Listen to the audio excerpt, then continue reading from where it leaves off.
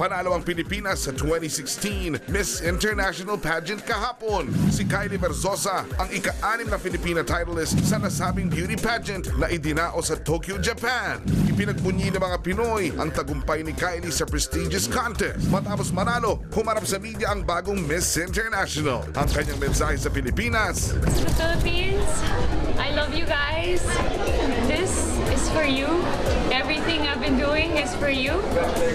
I uh, deeply appreciate all the help and all the support you've been giving me. I am still in awe. I'm still in shock. I cannot believe it. Thank you so much.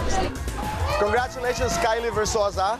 Nanalo po si Kylie bilang Miss International 2016. Congratulations. Sabi po ni Nancy ng aming executive producer, lahat po ng mga beauty queens na sumasali sa international beauty pageants na dumadaan po dito sa Tonight with Boy Abunda ay nananalo.